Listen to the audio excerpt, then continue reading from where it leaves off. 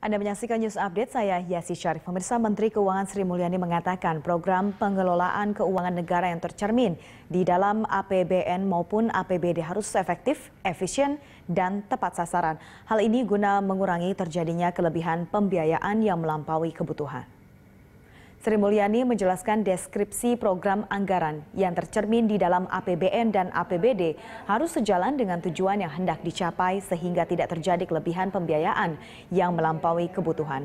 Untuk mengatasi masalah ini, Kementerian Keuangan akan terus berkoordinasi dengan jajaran terkait guna memperbaiki keseluruhan perencanaan penganggaran sehingga selalu tepat sasaran. Menurutnya perbaikan perencanaan anggaran tidak saja meliputi segi estimasi tetapi juga mencakup segi konten sehingga pembiayaan pembangunan bisa dilaksanakan secara kontinu.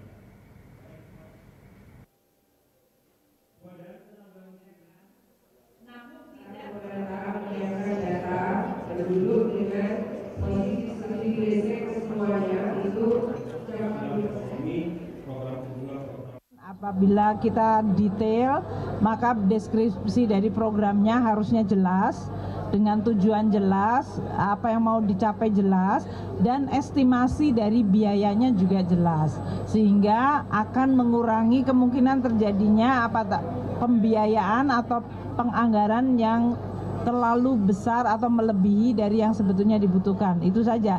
Nah, kita akan minta kepada Pak Dirjen uh, dan juga proses penganggarannya di dengan Bappenas untuk betul-betul memperbaiki proses keseluruhan perencanaan penganggaran sehingga tadi tepat dari sisi kontennya, isinya maupun tepat dari sisi estimasi biayanya. Ini kita harapkan akan berjalan terus-menerus. Jadi kita lakukan apa yang bisa kita siapkan untuk 2018.